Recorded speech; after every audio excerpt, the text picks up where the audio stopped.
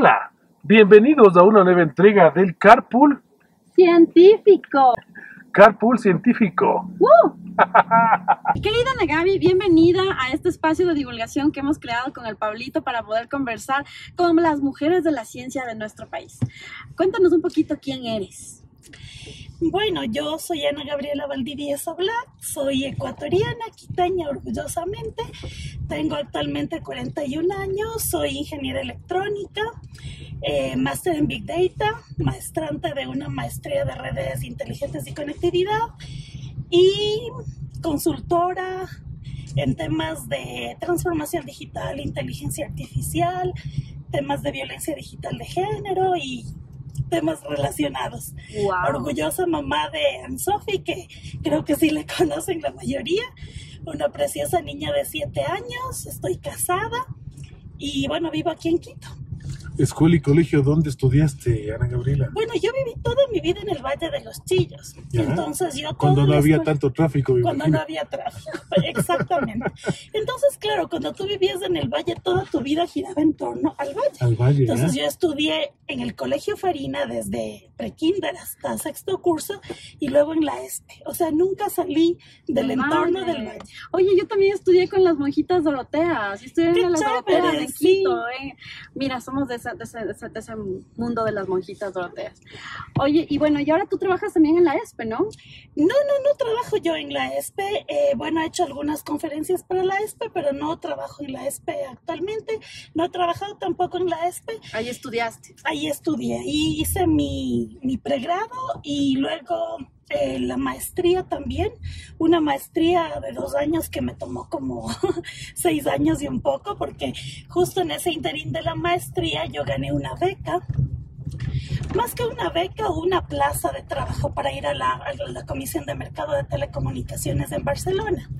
Entonces, claro, era o sigues la maestría o te vas a trabajar en Barcelona y lo que siempre me ha gustado. Iba por la mitad de la maestría y dije, me voy a Barcelona. Entonces, eh, trabajé en Barcelona un año y después regresé acá otra vez y a retomar. Entonces, claro, las maestrías normalmente son cada dos años, se va abriendo cada año una y las dos materias que me faltaron por tomar, la una tuve que tomar en el 2013 y la otra en el 2015. Y cuando tenía que dar el examen complexivo, di a luz dos días antes. dos días antes del complexivo. Yo pues tengo una tesis a cargo que no me termina de salir. entonces, estoy ahí, ahí. Ana Gabriela, una pregunta. ¿Cómo nace tu inclinación, tu gusto por tu profesión, por tu carrera, por tu línea de investigación actual? Bueno, yo para eh, decirles la verdad, toda mi vida pensé que iba a ser médico. Ah, mi familia es una familia de, muchos médicos y claro, mi papá era visitador médico. Entonces mis juguetes de la infancia siempre fueron jarabes, pastillas, inyecciones, gasas, todo, eso. Entonces, claro, yo jugaba a la escuela haciéndoles formar a los frascos de jarabes ah. y los más grandes eran los profesores. Oh, qué pasada, ¿ya? Y ustedes se acordarán que antes los laboratorios tenían muchos souvenirs de sus productos. Ah, claro. Uh, te daban de Entonces, claro, yo estudié con los borradores de, de, no sé, de penicilinas y un montón de cosas del benzetacil que fabricaban ah, claro, lápices de esferos y tal. Entonces siempre todo mi entorno era medicina. Hasta que un buen día apareció el programa de los supersónicos. Y yo dije, esto es lo mío, yo quiero hacer esto, ¿qué hay que hacer para hacer esto? ¿Qué hay que hacer para llegar a esto? Yo quiero vivir así en ese mundo de los robots, de la, de la electrónica y tal. Y esa fue mi inspiración. Oye, ¿cómo realmente la televisión a nosotros nos ha inspirado? Yo te he dicho, vos, el mundo de Big Man fue mi inspiración. Acá tenemos los supersónicos. O sea, y ahora vivimos en la era de los supersónicos. Lo único que no tenemos son los autos que vuelan. Bueno, aquí el doctor Araujo sí hace volar el auto. No, yo voy despacito, yo voy ah, despacito. Yo como voy controlando todo aquí, entonces yo voy, yo voy despacito. Y la maestría, Ana Gabriela, ¿la maestría en qué línea está? Eh, la una está en redes de inteligentes y conectividad y la otra está en Big Data y Business Intelligence, que es la que hice ya del 2019 y me gradué en el 2021. Entonces esa ya fue una maestría pandémica casi, porque claro, era una maestría en España, en, la Politécnica, sí, de, en, en um, Murcia, y se supone que la maestría tenía dos tiempos, uno presencial y uno virtual. Pero se hizo todo virtual. Entonces se hizo todo ¿no? virtual hasta la graduación virtual, nunca hubo una, un- la, la sesión del, del birrete, la entrega del título, Nada. nada. Nada. Entonces todo fue súper virtual y claro, al ser una maestría técnica, el hecho de que sea virtual demanda muchísimo, sobre todo porque si bien yo soy ingeniera electrónica, la programación siempre fue un cuco para mí. Sí. Y fue un cuco para mí, es una historia que siempre cuento. ¿Por qué? A ver, ¿por Porque, qué? claro, yo tuve, a ver, yo salgo de un colegio de monjitas a los 10 y, además de los 16 años. Que de programación no te dieron nada, Nada. imagino. Nada. Ni siquiera el Word Perfect. Entonces era un colegio, nada. nada, un colegio solo de mujeres. Lo que nos enseñaban es a grabar en los floppies, pero en los grandotes, En los de Exacto. tres y medio. de los tres y medio. Claro. Y mega computadores en los laboratorios y esto sí que había. Entonces, em, yo salgo de un colegio de monjitas solo de mujeres y llego a la ESPE, una universidad solo de hombres con militares, o sea, era un mix ahí, y yo la única mujer ahí. Entonces, La única, paradigma. la única mujer. la en- única mujer en la carrera. Entonces, mi mamá me preguntaba, ¿estás segura que quieres esto? ¿Estás segu-?" Y la típica, no, nunca falta el comentario de alguien, pero eso es carrera de hombres. ¿Pero ¿y por qué eso? Busca algo más fácil. A ti se te dan bien las matemáticas, pero busca algo más, más del entorno de mujeres. Ok. Porque siempre les ponen algún género a las carreras. Y es un problema, ¿no? es un Porque- problema terrible. Pero ahora las, ya no tienen género las carreras. O sea, yo creo que nunca Nunca tuvieron. El tuvieron. problema son los estereotipos sociales tan marcados Totalmente. que hicieron que cada, a cada carrera se le asigne un femenino o un masculino. Mm, mira. Entonces, claro, llego yo a la ESPE y para mí fue un choque brutal. Tenía, estábamos en el ICB en ciencias básicas, por lo menos 320 personas, porque nos mezclaban mecánica, electrónica, todos en, en ingeniería civil en el, en el En el ciencias básicas. Y claro, era yo, o sea, eran, todos eran XY y solo yo era la XX. La XX. Entonces, fue complejo, no fue Difícil, fácil, ¿no? no, fue Seguro, fácil, claro. porque al final uno termina, en lugar de terminar radicalizando tu feminismo, terminas como masculizándote, int- intentando hacerte al grupo, ¿no? ¿Qué me estás Entonces yo decía, bueno, ellos juegan fútbol, Yo a mí también juego háganme el equipo, yo no quiero ser la madrina, yo quiero ser el equipo, y jugaba. Ya, Entonces, mira. claro, era como que yo trataba de demostrarles que yo podía hacer lo mismo que ellos hacían. Correcto. ¿De qué año estamos hablando, Ana Gabriela? Yo me gradué en el 98 del 98 cole. Entonces, claro, yo ya después la ingeniería te- terminé en el 2002 y tenía un profesor de programación. Hasta ahora me acuerdo de lo que ya en paz descanse el hombre, Ok. pero nunca De esos profesores que nunca se olvidan. ya le podemos Entonces, ¿cómo donar se- al diablo. Sí, ¿no? sí, Ya. sí, sí, porque en el COVID eh, algo pasó y ya terrible, el hombre falleció en, el- en la época del COVID, pero imagínense, nunca me llegó a decir señorita, solo No era me señor Valdivieso, señor Valdivieso, Señor Valdivieso. Señor No Valdivieso. me decía, no, me No. decía señorita, nunca. ¿Pero qué es esto? ¿Qué, ¿Qué nos es estás esto? contando? ¡Qué locura! Pero no solo eso, digamos que eso hubiera sido la parte más soft de la historia. Me tomaba los exámenes en una hoja de papel ministro. Estábamos haciendo programación, C++. Ajá. Todos hacían en su computador y en una hoja de papel ministro en el escritorio ¿Por de él. No puede ser, de verdad. Sí, me decía, no, las computadoras, después me vaya a dañar la computadora. O sea, estudiando ingeniería electrónica. Wow. No, Wow. sí, sí, increíble. Y el este, y el oh my god. No Pero puedo wow, creerlo, sí. pero exacto, wow para Wow, abajo. fatal. Una cosa Qué terrible. fatal. O sea, nunca te dejó ponerte frente al computador para que tú le enseñes cómo programabas. Oye, En, en- en algunas ocasiones cuando hacíamos algún trabajo de grupo, pero siempre hacía el comentario, seguro que usted no aportó mucho al grupo. O sea, era una cosa así densa. Y él Mucho.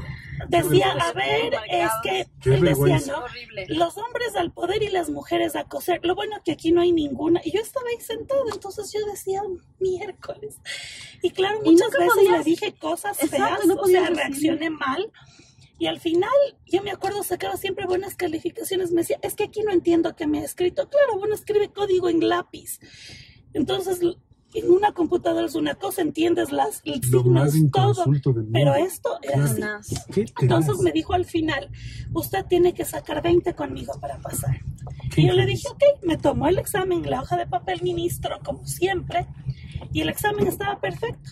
Y al final me dijo, tiene 19.85 porque no entiendo bien este signo. Le digo, pero si es un corchete, claramente es un corchete. No, yo no entiendo.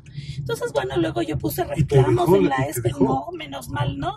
Yo puse un reclamo con el decano de la ESPE. Y bueno, hablaron con él, le dijeron ya, para la mano y tal. Y, y al final pasé, porque era mi esfuerzo. Yo no, no, no es porque haga la, la, conversación o la comparación, pero siempre fui buena en, en, lo que hacía, aunque la programación me dejó de gustar. Entonces, a raíz de esta experiencia tan horrible. También decía, yo no programo más. Yeah. Pero luego, claro, ya te dan microcontroladores, te, nos daban robótica, y ya teníamos que programar una programación un poco más, más suave, ¿no? Pero igual a programar. Entonces, cuando me decido hacer esta maestría en Big Data, yo digo, pero es programar. Y a mí programar no me gusta. Pero luego me di cuenta que sí me gustaba, pero yo decía, yeah. Dios mío, a los 39 años comenzar a programar, mi hija tiene cuatro, ya ha comenzado su camino y yo voy a comenzar con esta nueva programación a los 39. También, claro. ¿Qué tenaz? Un reto Entonces, frente a ti, claro. Fue junto, ¿no? Entonces, mientras la Sofi aprendía Scratch y aprendía Python.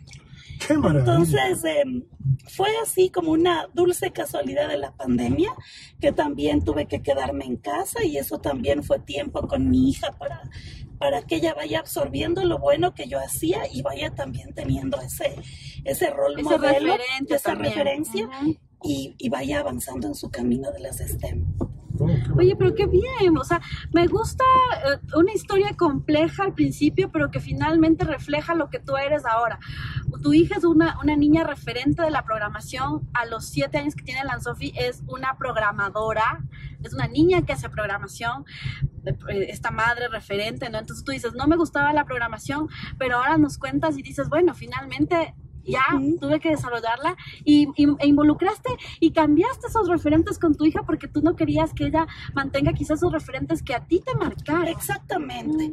O sea, yo creo que es una una obligación moral de todas las mujeres que estamos en la ciencia y en la tecnología, ir haciendo un poco más liso el camino para las que vienen atrás, ¿no? Y parte de eso para las que tenemos nenas es iniciar en la crianza y esta inspiración en la ciencia y la tecnología al final, porque creo que le debemos a la sociedad, las, realmente la sociedad nos debe, pero siempre nos hacen creer que nosotros le debemos a la sociedad más mujeres en ciencia y tecnología. Uh -huh. Siempre nos hablan de la famosa equidad, que a mí no me gusta utilizar el término de equidad, porque la equidad son números, a mí me gusta hablar de igualdad, de que igualdad, son derechos. Por supuesto. Entonces siempre nos han hecho creer, ah, es que no hay mujeres porque no hay capacidad, es que no les gusta, es que prefieren otras carreras, es que prefieren el matrimonio, y no es eso. Uh -huh. O sea, son cosas como estas, ¿no? estos, estos micro y macro machismos Correcto. que encuentras, tal vez hoy son menos marcados porque gracias al desarrollo tecnológico, las redes han servido de una plataforma para denunciar este tipo de Y gracias a las microluchas de mujeres como tú, que en su momento tuvieron que luchar y vencer estas estructuras patriarcales impuestas que imponían un modelo anacrónico ya hoy totalmente. Claro, ahora ya sería impensable. Impensable. Pensar, claro. Imagínate con, los, con las alumnas de la universidad no, que vos les digas eso. No, no, es que es, que, es que yo no, yo no me imagino, o sea, me parece. Qué valiente tú, ah, Oye, muy sí, bien, súper bien. Qué sí. Qué yo, maravilla. yo dije, si esto ya pasé, estoy en un camino que ya para mí ya no van a ser más espinas, porque tuve un cactus al frente mío el que me chocaba todos los días. Pero el cactus floreció entonces. Sí, sí, sí, al final fue así. Y lo al final venciste. fue así. Y lo venciste. Cuéntame una cosa. Eh, ahora, ¿en qué llevas tu línea de investigación? ¿En qué está centrado tu trabajo actual? Bueno, yo tengo algunos trabajos, tengo el remunerado y el de pasión.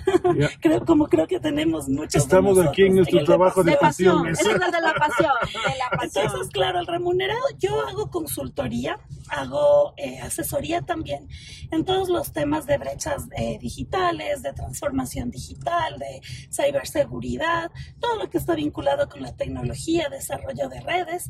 Eh, mi última investigación fue sobre mecanismos para agilizar el cierre de la brecha digital aquí en el país, Ajá. mecanismos de priorización. Y bueno, ahora estoy un poco más enfocada en el tema de la brecha de género. Brecha de género desde el ámbito del uso de la tecnología y brecha de género en dar a la sociedad mayor cantidad de niñas y mujeres en, en STEM. Entonces, es, como mi línea principal. Estuviste celebrando el día del Ada Lovelace, ¿no? Sí, sí, sí, ah, estuvimos en el día de Ada Lovelace eh, con una iniciativa chévere. ¿Cuándo fue esto? Eh, fue el día martes, que se celebra el segundo martes de octubre la conmemoración de Ada Lovelace. Y claro, yo pensaba en ella y digo, ella es el fiel ejemplo de que los roles modelo, cuando una mujer tiene en alguien en quien verse y, ver que lo pudo hacer, las mujeres lo hacen sin ningún problema, ¿no? Entonces, eh, en mi caso yo no tuve una madre que haya ido por la línea de las matemáticas, em, la tecnología. Pero claro, en nuestros tiempos teníamos otros referentes y como dice la Sofi, la televisión, el mundo de Big Man a mí me cautivaba. A mí también, sí soy producto del mundo de Big Pero está más en su generación que la mía, verás. Yo ya le veía medio grandecito al mundo de Big Claro, no, pues es que ya, no les, no, les, no les cuentes al público la diferencia de edad. no, no, es que ya, es que Iban a decir que tenemos la misma edad, bueno, ya. Pero van a decir que yo no veía Big Man, yo digo, yo sí veía Big Man, pero ya estaba grande. Yo era una claro. chiquita cuando veía Big Man. Oye, bueno, Ana Gaby, tú también bailas flamenco, ¿no? Sí, también bailo flamenco. He hecho un poco un stop estos últimos meses porque estoy con un problema de columna. Creo que ha sido un poco el estrés. También. El, el, trabajo de casa sentada 24 horas. La pandemia. Y también que yo soy una persona que duerme muy poco. Oh. Y mis horas de inspiración son en la noche. Entonces creo que todo eso me ha pasado un poco de factura, porque hay días que puedo dormir dos, tres horas y no sentir sueño al día siguiente y estar fresquísima. Entonces creo que el cuerpo también va levantando banderas diciendo, ya, bájale un poco, para un poco. Entonces, bueno, he parado un poco en el flamenco. Mi Anne-Sophie sí sigue bailando. Oh, qué lindo, qué belleza. Ella sí sigue bailando. Entonces, eh, bueno, es una pasión que también compartimos. Anne-Sophie es hija única. Entonces, claro, soy yo su mamá, su hermana, su amiga, es su compañera de juegos, su compañera en la clase de programación, todo. Entonces, claro, un poco ella va viviendo lo que yo voy viviendo. Es algo que a mí me encanta y no porque sea una imposición, es porque ella lo va absorbiendo, lo va captando y lo va mm, asimilando y al final he logrado que ella vaya por un camino que no ha sido forzado, un camino que a ella le ha gustado, que a ella le ha interesado y hoy le veo con un interés pero maravilloso. o sea, cuando hizo su primer robot, yo creo que lloré como... Su primer Sí, hizo su primer oh.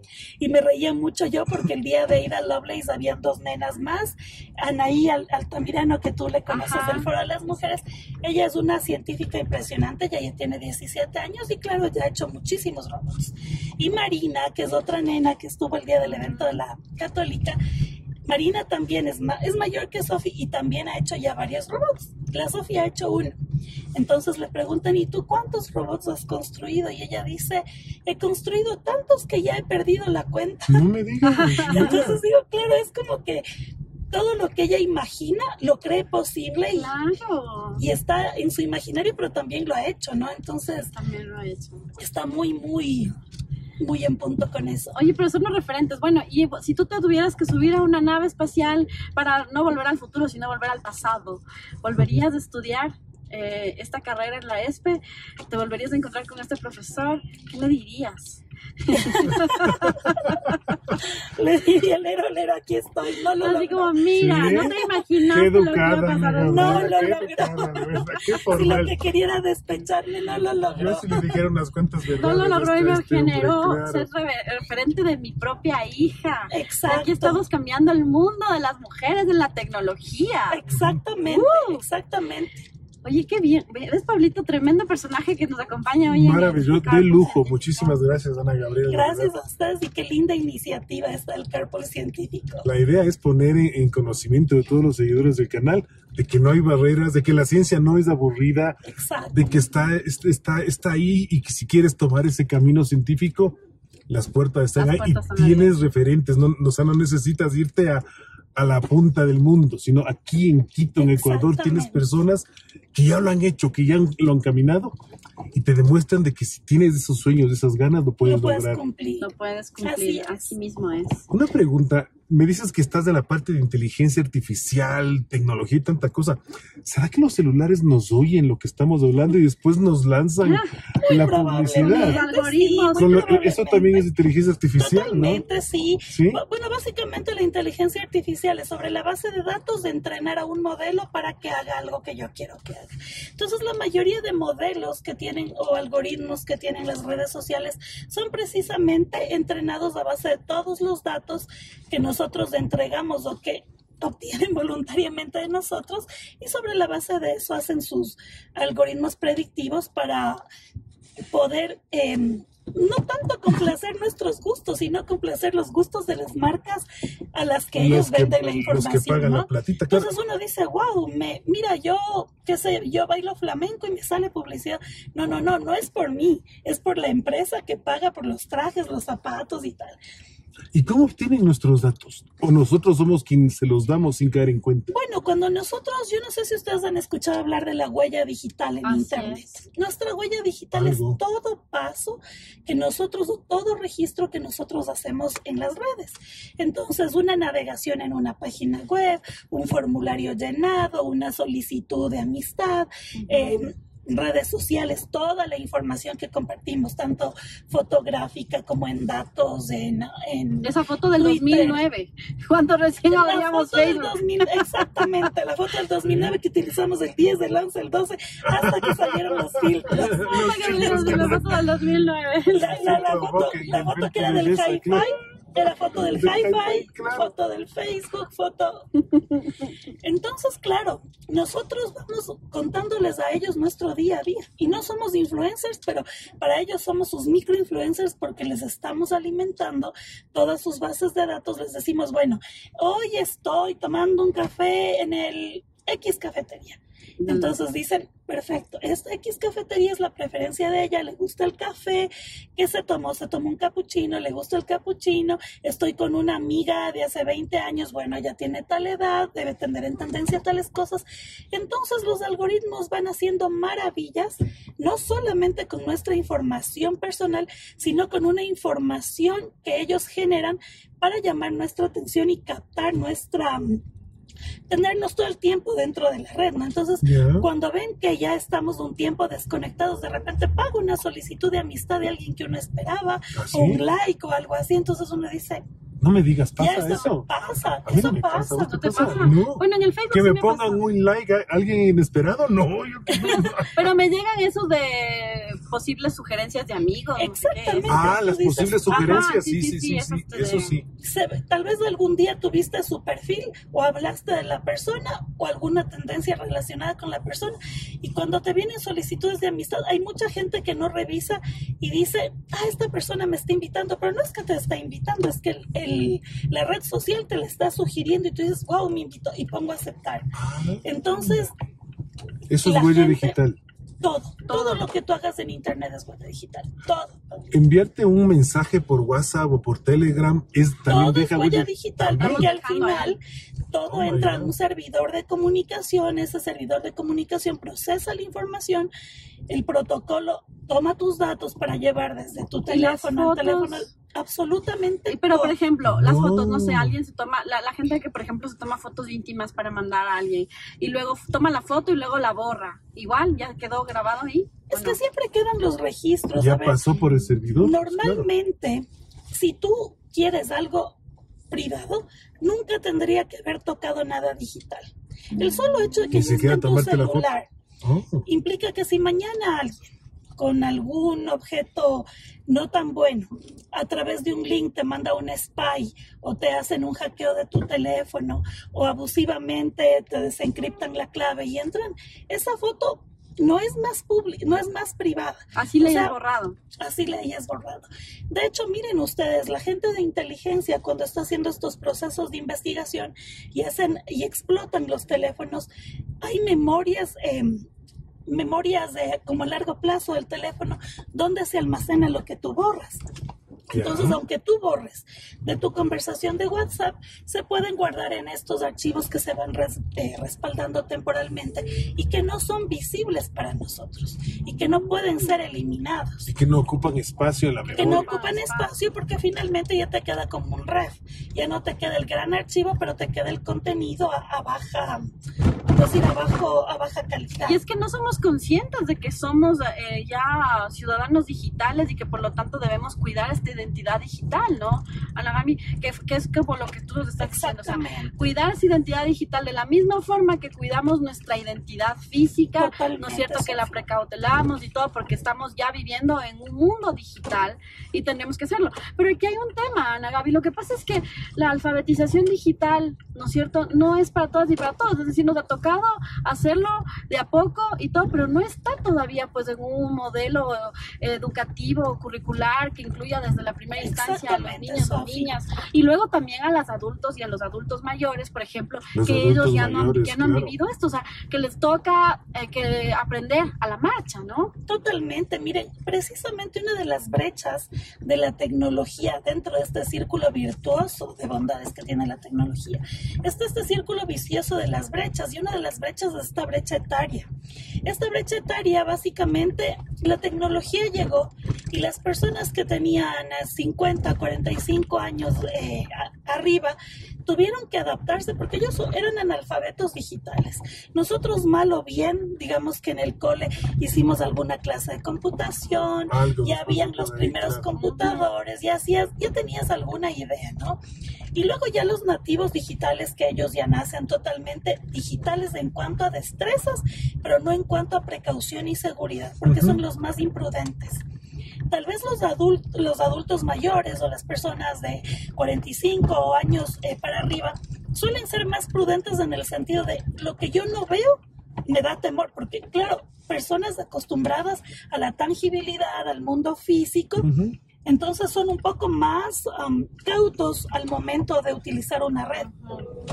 Pero los nativos digitales, nada, o sea, cero precaución, cero precaución. Estamos hablando de las generaciones que están ahora en los 15, 16, 17 años. Totalmente. Entonces, imagínate, antes tu diario era el dueño de tu vida personal y el diario le tenías guardado, viniendo dos con candado. Exactamente. ¿Y qué tenías ahí? Fotos del artista que te gustaba, dos que tres conversaciones de tu imaginario y listo. El nombre de quien te gustaba. decías, estoy enamorado de y ya está. o cuando circulabas el curioso en el cuaderno.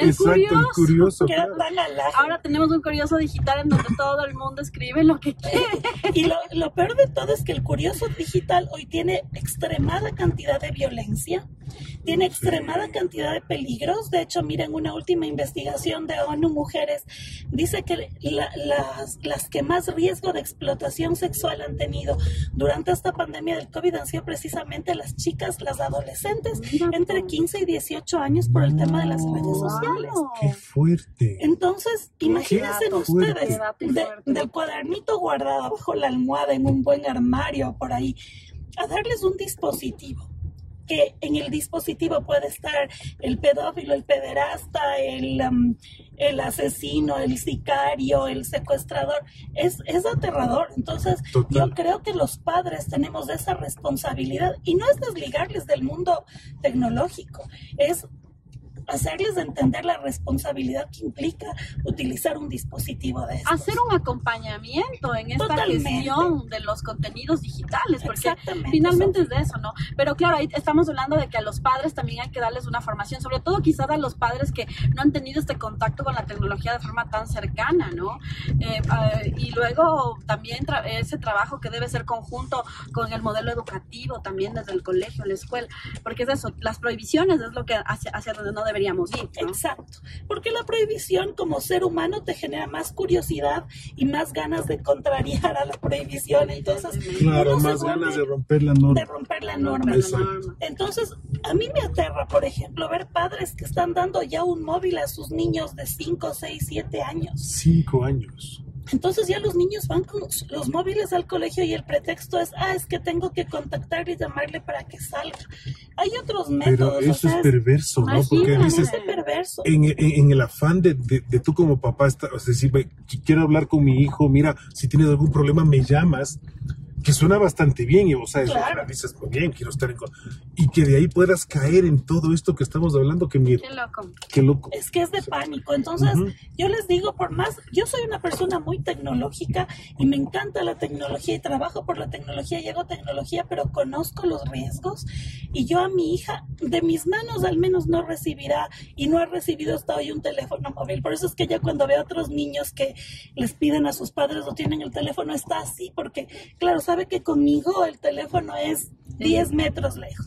¿Y a qué edad tu hija podrá usar un, celular? Yo creo que cuando tenga suficiente conciencia y responsabilidad, y creo yo que ella misma hay que ir alertando a nuestros niños de todas estas, no es asustarles, pero es ponerles la realidad de cara y decir, mira, te puede pasar esto, ¿a cuántos niños les ha pasado esto? Fíjense en ustedes, algo que puede parecer tan inocente, que en el colegio tal vez era inocente el apodo, la burla, que ahora se volvió en este bullying y un bullying acompañado de tecnología brutal, o sea, es un acoso 24/7, porque cuando tú ya tienes un teléfono, tú antes ibas al cole y si alguien te molestaba en el cole, la casa era tu sitio seguro. Claro, yo Hoy tú tienes el, celular contigo y tu sitio seguro se acabó. Donde estés tú con tu dispositivo, estás totalmente inseguro y vulnerable. Entonces... y esto va más allá de la marca del dispositivo. Tota, o sea, wow. Porque también he escuchado yo de que no, es que si tienes la marca esta de la, la que parece fruta versus las, las otras, es, está como más seguro, eh, te piden que las apps no te rastreen y esas cosas, pero no es así. en cuanto a privacidad, pero en cuanto a acceso, son, imagínate, teléfonos, teléfonos que tienen mayor inteligencia y que te permiten llegar más allá de lo que te podría permitir un, un feature phone o estos teléfonos convencionales. Entonces, claro, los niños son unas naves y mientras el padre quiera ponerle control para enterar, el niño ya tiene 30, 40, 50 aplicaciones, ya sabe cómo entrar, ya sabe cómo evadir filtros, porque es parte de la cultura digital que les rodea. Ahora que escucho a la Nagabi, escucho a la Nagabi, se me vino a la mente la serie de Black Mirror. es así como todos los capítulos de Black Mirror de lo que va a pasar con la tecnología en el futuro, pero claro, ya una forma de la utilización de la tecnología de una forma completamente negativa, pero este abuso excesivo de la tecnología, ¿no? Porque, a ver, la tecnología no es mala, sino es el, uso. exacto, es, el uso que le estamos dando a esta tecnología, ¿verdad? Exacto. Miren, yo soy una defensora ultranza de la tecnología, porque yo creo que el único medio capaz de romper todo este tipo de desigualdades es precisamente la tecnología, pero también es capaz de ahondar el mal uso de la tecnología, obviamente, ahondar diferencias, brechas, estratos y demás. Entonces, miren ustedes, en la pandemia la tecnología permitió sortear el tema de la educación, del trabajo y demás, pero para los que estábamos conectados. pero eso no es culpa de la tecnología, es culpa de las políticas eh, nacionales, las políticas de acceso, gobiernos locales, seccionales, que nunca pensaron que la pandemia iba a llegar y tenían sus timings en las agendas digitales al 2025, al 2026. Fíjense ustedes, los mismos objetivos de desarrollo sostenible de la ONU tienen un horizonte 2030 para dotar de acceso y conectividad a todos.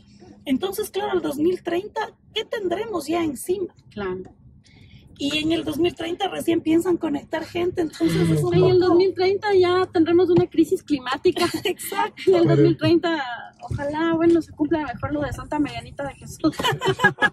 Yo creo que para el 2030... el Ecuador se acabará para los malos gobiernos.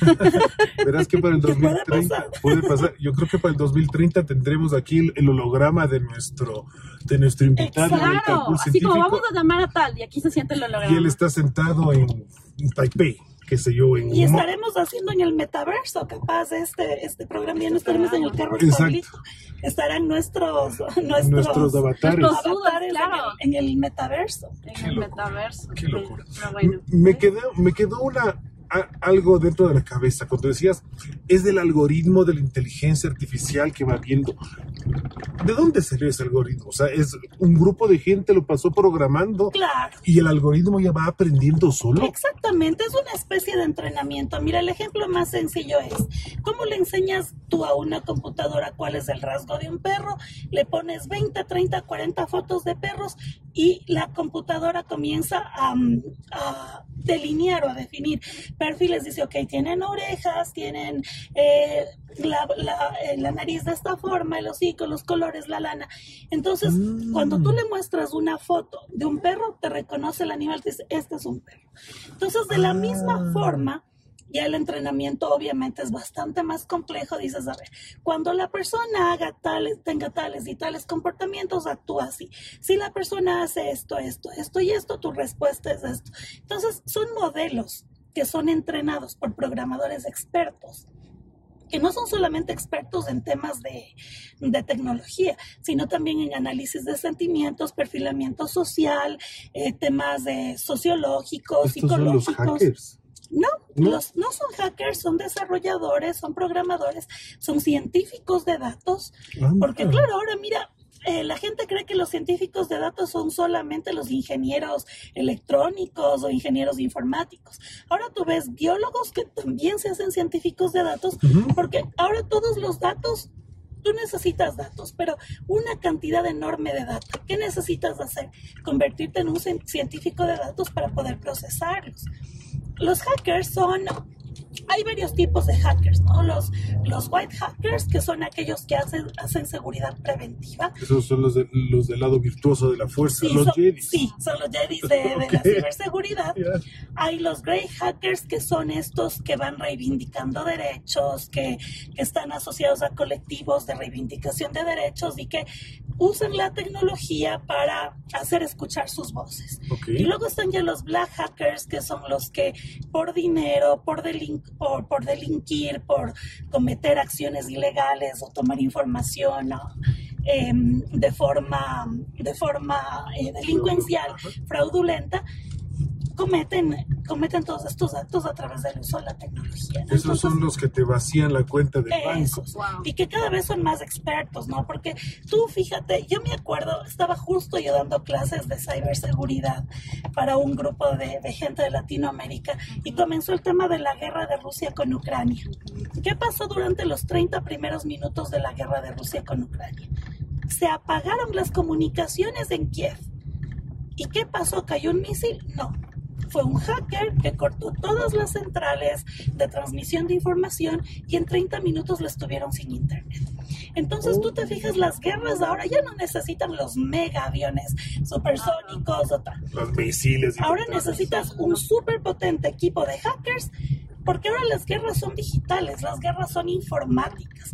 Mañana, por ejemplo, si alguien quiere acabarte el país, te apagan las centrales hidroeléctricas, te apagan eh, cualquier tipo de infraestructura básica y te acaban. No necesitan tirarte un misil encima.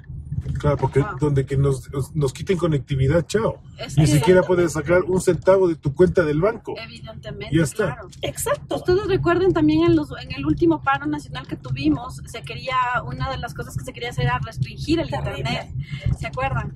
Entonces, claro, evidentemente nos damos cuenta que eso también pasó en Rusia, ¿no? Restringieron el Internet, no tenían acceso a Google, eh, al, al, a Yahoo, a Gmail y todo. Entonces, así, pero bueno, ¿cómo se va a comunicar la gente, no? Que es básicamente lo que estamos viendo ahora que estamos viviendo en la sociedad de las tecnologías, de la información, pero también es de la desinformación, porque yo siempre digo que vivimos una pandemia más compleja que la del coronavirus. Por favor, doctor Araujo, despacito. Yo estaba pensando en los hackers, de, digo, de repente se me cruzó un hueco. Oye, pero entonces al mismo tiempo también tenemos demasiada desinformación que está ahí eh, pululando en todo este entorno digital y, y, en ese sentido hay un, hay un escritor, eh, un escritor colombiano que es, Omar Rincón, es, es un, sociólogo, un comunicador, y él nos dice que estamos viviendo un nuevo modelo, que es la fake gracia. Entonces así como la fake, gracia, ajá, que es como de la democracia nada, ahora esto es la fake gracia. Entonces es como que la, las fake news, ¿no es cierto?, son las que ahora dominan, ¿no? Ahora, ¿cómo, cómo luchar contra todo este, esta, esta pandemia que es más silenciosa, más fuerte? Y poderosa eh, con el uso de las nuevas tecnologías. Tendríamos que generar primero esta alfabetización digital, eh, hacer que la gente se vuelva gestora de la información, de la tecnología, ¿no, Ana Sí, totalmente, Sofi. Mira, yo creo que la educación es fundamental, pero hay temas en los que los propios eh, proveedores de contenido de redes sociales deberían trabajar Y, no lo hacen porque saben que el sensacionalismo es parte de la masificación del uso de las redes.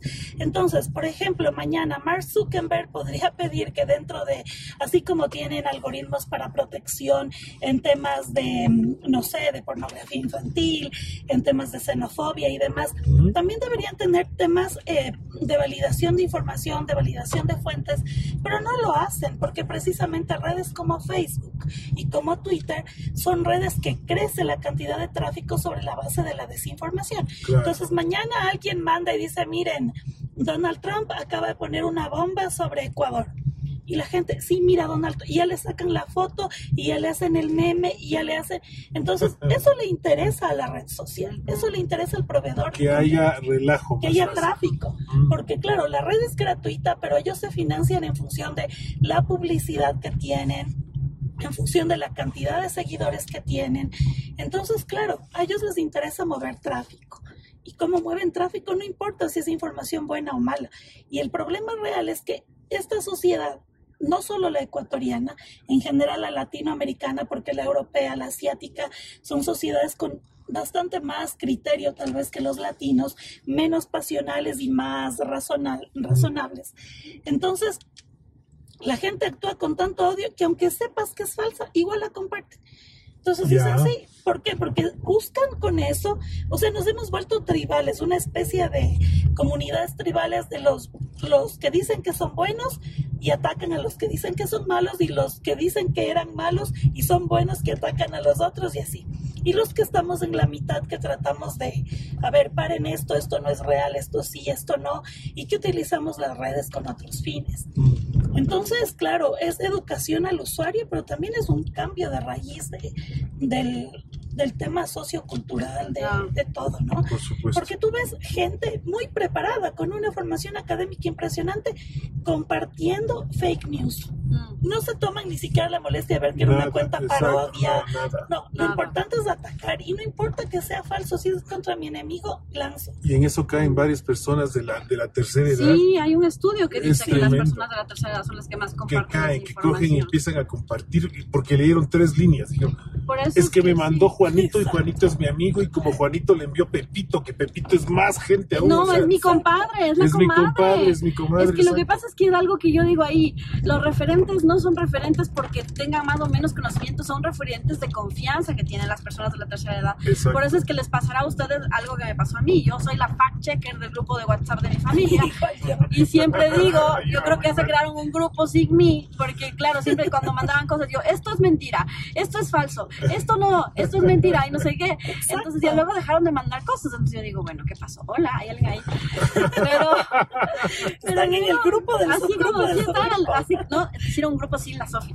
Pero, por ejemplo, pero por ejemplo me pasa cosas bien chéveres, por ejemplo, mi papá empezó a mandarme cosas, ¿no? Así como, hijita, mira, esto me mandan de la guerra de Ucrania, es verdad, esto me mandan del paro, es verdad. Le digo, no, papi, y le, mando, no, yo, mira, estos son los datos, esta es la información, y él reenvía al grupo de WhatsApp a sus amigos del colegio. Entonces dice, mi hija me mandó. Entonces digo, bueno, al menos algo vamos a hacer, porque, claro.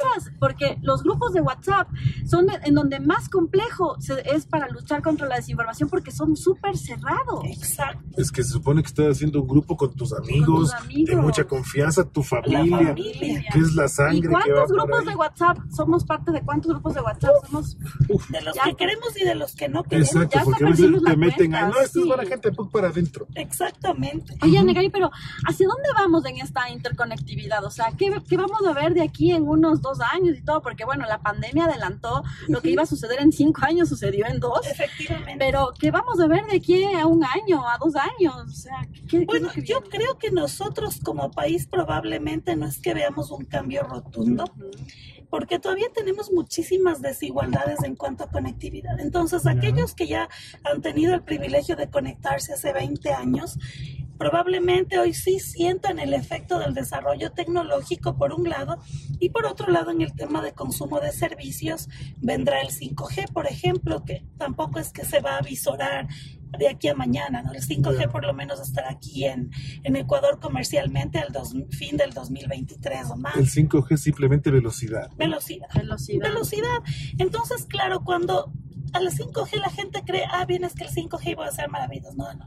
El 5G va apalancando esta política de transformación digital para manejo de grandes volúmenes de datos, para... Em, lograr eh, transformación en temas o cadenas productivas importantes y tal. Mm. Pero vamos a seguir teniendo, yo no soy tan optimista porque durante 17 años estuve en el sector público precisamente trabajando por, por el tema de la conectividad. Siento que fuiste subsecretaria, ¿no? sí, yo fui viceministra, subsecretaria fui la primera presidenta del CONATEL, bueno, la primera mujer en todo, la primera viceministra, la primera subsecretaria, o sea, abriendo puertas y sillones que siempre han sido de, hombres. Y es que, y es que aquí se une con una de mis preguntas, Ana Gaby, porque ya hablamos de lo, lo duro que fue para ti en la época universitaria, ¿verdad? Y eso te quería preguntar, ¿cómo te fue en la parte ya profesional? Cuando estuviste ahí, el hecho de ser mujer, ¿te viste con las barreras del machismo? Totalmente, es, impresionante porque yo, yo te digo, mira, por lo menos en la parte académica tú sabes, ok, estoy en esta hora de clases y el profesor es machista, es una hora y te vas. Pero acá estás ocho horas y ocho horas con gente poniéndote el pie, poniéndote el pie. Y tú llegas a una posición importante y nadie dice felicitaciones, qué logro, es que la chica se preparó, se fue a, España, tuvo la oportunidad de ir a la NASA, estuvo en una misión en la NASA y tal, y se merece. No, no, no. Entonces dice, bueno, amiga, ¿de quién será? Lo más suave, ¿no? Porque dice muchísimas otras cosas que a mí me da hasta vergüenza repetir. Entonces, claro, y claro, y cuando te ven, todos son tus amigos, pero cuando están a tus espaldas, todos están lanzando dagas y todos los dedos apuntan a ti. Cosa que no pasa con los hombres. Yo me acuerdo recientemente una primera ministra de, de, Finlandia, creo que fue, que tuvo una fiesta con sus amigas, un reencuentro con sus ex compañeras de, de universidad, le tomaron fotos y claro, le censuraron porque ella no debía tener una, un vaso de, de whisky en su mano siendo primera ministra. Entonces, eso con los hombres no pasa. O sea, hemos visto tremendas escenas en los políticos, pero tremendas escenas y nadie les censura, porque si son hombres está bien, pero si son mujeres es totalmente y Tú lo viviste eso en carne propia. Imagínense, había gente, yo recuerdo una persona que está en un medio de comunicación importante, dueño de un médico, de, no, innombrable también. Perfecto. Dueño de un medio de comunicación importante que un día teníamos una reunión venían por un proyecto de norma que estábamos haciendo y yo estaba ahí sentada. Entonces, bueno, saluda y me dice, ¿hasta qué hora nos van a tener aquí? ¿A qué hora viene la autoridad? Le digo, soy yo. o sea, así como, mucho gusto. ¿no será usted la secretaria?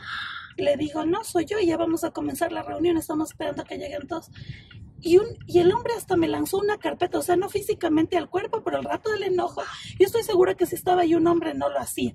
Luego un familiar de él tuvo que pedir disculpas y tal, pero con un enojo impresionante, los reclamos, lanzó una carpeta, ven, en la carpeta me cayó. Entonces digo, Dios mío, ¿qué? ¿Qué si, si bien estaba el hombre ahí, no lo hacía, ¿no? Entonces me decía, pero ¿y usted? Como es colegiala que es y qué, hace ahí sentada. No puedo creerlo. Y, era, ¿y a qué viene la autoridad? Le digo, no, sí soy yo. Y ya me presenté también, ya me había presentado. Sí, yo creí que era la secretaria. Pero es toda la minimización oh de todo. Oh my God. Oh my God. No, hay otras palabras. Oye, qué espectacular conocerte, Ana Gaby, conversar contigo. Ha pasado el tiempo volando, ¿no, Pablito? Sí, yo, yo me preguntaba si vas a hacer eso de las cinco palabras. Sí, vamos a hacer las cinco palabras, sí. A ver, vamos a hacer cinco palabras. Yo te doy una palabra y tú respondes con otra palabra. Perfecto. ¿Ya? Vamos con la primera. Programación. Futuro. Anne-Sophie. Mi vida. ESPE. Em, mi alma mater. Conectividad. Mi anhelo. Ecuador. Mi país. Mi país. Muy bien, mi Pablito. Qué bien. Oiga, pero yo creo que aquí mejor la última y nos vamos. Es, que falta preguntarle a la Gaby cuál es la comida que más te ah, gusta. Ah, ¿Cuál es el trago que más te gusta? La hueca que más disfrutas Oye, sí, para irnos de una hueca. Exactamente. ¿Qué música bailas además del flamenco? Ah, bueno, yo les contesto todo lo que quieran. ¿Cuál es mi comida típica? Bueno, yo soy una persona que le gusta mucho los dulces, no tanto los postres, pero sí los helados. Y en comida típica, un mote con chicharrón. Si alguien quiere envenenarme, un mote con chicharrón y una colada morada. Ya les Ay, colada tiempo, morada. claro. La colada morada, luego, ¿qué música escucho? Me gusta de todo. Sí, Bad El, Bunny. el reggaetón denso no me gusta, pero hay algunas que, por ejemplo, Maluma me gusta, algunas canciones no. La- las del, del Maluma inicial, no, las del Maluma actual, que ya son más beats con, con artistas más poperos, sí me gustan. Ok. Bailo hasta el himno nacional, o sea, soy Sí. una bailarina Ay, qué pleno. de pe a pa. Lastimosamente, mi marido es catalán y entonces... Lastimosamente. Lastimosamente, ¿por ¿por qué? Porque tiene dos pies izquierdos, o sea, no tiene el ritmo latino. Entonces las fiestas con él son un poco a buscar pareja con quien bailo. Ya. Yo acostumbrado a bailar no 13, 14 horas seguidas. Y no lo lograste a él convencer en el sabor musical. No, es bien rockero. Entonces para él es el rock, sí, nada tropical, nada tropical. Entonces, claro, lo latino, menos mal Anne Sophie tiene sangre latina, pero así por las venas enteramente. Pero sí, sí, sí, con él sí es. um, ¿Y le encanta Ecuador? complejo. Le gusta muchísimo, de hecho él vino, dejó todo y vino. Sí. I con el teu marit tu parles en català o en castellà? Parlo catalán molt bé. Oh, muy bien. Es que el el pues, català. Sí. vivió en Jo vaig Barcelona. viure 5 anys a Barcelona. Sí. Sí, Barcelona creo que es una de las ciudades más lindas que tiene el mundo. sí señora. Para mí Estambul la primera y Barcelona la segunda. Amén, sí. Uy, Entonces creo que, mm, bueno, Barcelona es una ciudad casi que podría ser un país, ¿no? No soy, no, no soy, no estoy a favor de la separación, pero, Ya, no eres pero independentista. no soy independentista, pero creo que tienen todo y si en algún momento lo hacen, eh, tienen todo para ser un país, tienen todo para ser un país. Y las huecas aquí. qué hueca? Ajá, Eso, ¿cuál las huecas. Oye, a mí los motes de la Magdalena me encantan. Ah, Sí. los de la buenísimos, Magdalena, buenísimos. Esos son los de mi infancia, pues que viví en la Magdalena, claro. Y otra cosa que me encantan son las empanadas de viento. Ay, qué Ah. rica. ¿Y Entonces, son las empanadas de viento, las más ricas son las de mi mamá. Pero eh, habían unas antes aquí en la República con Diego de Almagro que estuvieron creo que un año. Se llamaba El Rey del Morocho, creo, alguna cosa así. Ok. Sí, unas empanadas de este tamaño así fantásticas. Y en la ronda también una que se llamaba La Casa de la Empanada, pero que vi que, que vendían además las bebas riquísimas. Las esas bebas, que tomábamos qué buenas, nosotros, se claro. acordarán de uva, Sí, las sí, naranjas, sí. de uva. que eran súper tóxicas, pero que uno tomaba con Claro, químicamente picando la y Químicamente era una bomba. Malos. Pero el oso, la beba del oso, era lo máximo. Exactamente. Entonces yo iba por la beba, la espumita. Una, Una beba. beba, tenemos que ir a tomarnos una beba, comernos una espumita y la empanada de viento. Haber sabido esto, te hubiéramos traído una beba. Fíjate, para. Sí. Pero, pero nos vamos a volver a ver contigo otra vez. Por porque- supuesto que sí. Para que nos sigas dando la- la- las pautas del futuro y de la interconectividad. Pero bueno, ahora, ¿qué mensaje le dejas a la gente? Porque creo que es importante, ahora que hemos hablado de la huella digital, de que realmente deberíamos ser conscientes de toda la información que publicamos. ¿Qué le dices? A esas niñas que quieren ser científicas. Ajá. Bueno, yo tendría, tengo dos mensajes, uno para niñas y mujeres, que básicamente es, no importa lo que quieran, háganlo. Y si tienen miedo, háganlo con miedo. Las mujeres somos capaces de llegar hasta donde nos propongamos.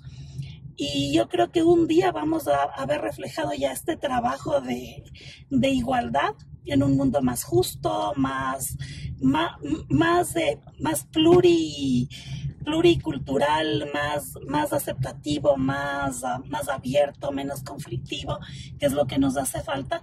Y luego ya para todas las personas en general, usen la tecnología, la tecnología es maravillosa, pero tengan cuidado. O sea, cuando sean siempre conscientes de lo que hacen, sean siempre conscientes de con quién comparten la información, tengan cuidado con sus niños y niñas, es importantísimo cuidar, porque parte de la salud mental de nuestros niños ahora está muy asociada con la tecnología. Así es. Cuidemos también nuestra salud mental. Yo, yo veo que a mí me afecta mucho, por ejemplo, a veces el Twitter.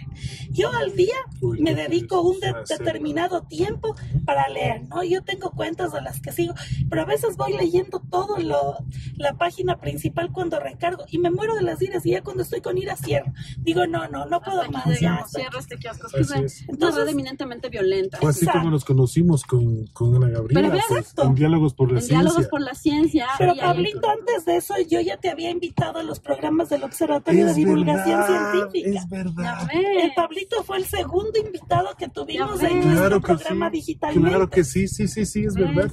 Oye, bueno, a ver, toma tú este, toma tú este de acá. Eso. A ver, Mira, ahí estamos con nuestro carpool científico. Hoy nos acompañó Ana Gabriela Valdivieso. ¿Qué dice Ana Gaby? Un abrazo por haber sido parte del carpool científico. ¿Qué dices, Pablito? gracias Ana Gabriela por este tiempo, por el espacio y pues por dar esta oportunidad de que todo el mundo te conozca, te oiga aquí en Ciencia en la Vida Cotidiana. Gracias. A ustedes gracias por hacer posible. Este es un trabajo que genera igualdad. Mostrar lo que hacen las mujeres, evidenciar, visibilizar mujeres, es un trabajo maravilloso que va a repercutir en igualdad. Gracias por este trabajo de ustedes. Gracias, un abrazo fuerte. Adiós. Bye. Sofi querida, ¿dónde estamos yendo el día de hoy? Mm, nos estamos yendo a ver a Gab- Ana Gabriela Valdivieso. ¿Sabes quién es? Claro, una, ella fue viceministra, me parece, ¿verdad? Sí, trabaja todos los temas de tecnología, de programación, eh, ha trabajado todo el tema de Big Data, de inteligencia Qué artificial. plenazo. Es mamá de Anne Sophie, que es una niña que tiene siete años y a los siete años ya hace programación. ¿Qué te parece? es una invitada espectacular para este carpool científico en Ciencia en la Vida Cotidiana. Nos ha dado una horita de tiempo Una horita. y tenemos que ser puntualitos para recogerla y dejarla donde nos Y que, y que no llueva también, por favor. Sí, le pagaste no a. San Pedro y a todos pagado. los santos, sí. Está pagado todo. Ok. Listo. Entonces nos vemos. Aquí en el carpool científico. Ajá, y mujeres en la ciencia. Ya, una. Stop en este. Ya, y ahora ya acabamos. Ya, y decimos, qué genial la Ana Gaby. Exactamente, Ya. como para despedirnos. ¿no? Ajá. Ya, a ver, espera, otra vez. Listo, final del carpool científico. Con mujeres en la ciencia. Oye, qué genial Ana Gaby, ¿no? Espectacular, espectacular, la verdad. Gracias, Ana Gabriela, por tu tiempo, por tu espacio, por la buena onda, por sobre todo por abrirnos la mente en todos estos temas que nos contó del Big Data, la inteligencia artificial. Y es que lo que buscamos en este espacio es encontrar y que ustedes conozcan a mujeres en la ciencia, a investigadores que están trabajando temas muy interesantes en el país y que no lo sabemos, Ujú. y que no lo sabemos, Pablito. Entonces, en este espacio, en este auto del doctor Araujo, queremos subir a las investigadoras y a las investigadores del país para que conversen con nosotros de una forma más relajada mientras el doctor Araujo decide por qué calles de la ciudad llevarnos. Y vamos conociendo estos pequeños rinconcitos de la ciudad que a veces están por ahí escondidos. Y vamos descubriendo también a estas investigadoras y a estos investigadores desde la parte cotidiana, ¿no? Desde lo que también les gusta, lo que comen, cómo se hicieron científicas o científicos, cuáles fueron sus referentes buenos o malos. Entonces, realmente, para eso es el carpool, ¿no? Así es. Este, es- este es el trabajo apasionante, como dijo la Ana Gaby, Exacto, además, de- además del, del- del trabajo remunerado, este es el trabajo del hobby de la pasión. del joven apasionante. Pero Así. bueno, nos vemos entonces en una próxima edición del... Carpool científico. Acá está nuestro letrero. Ay, uy, del carpool científico aquí en Ciencia En la vida cotidiana. Adiós. Bye. Chévere.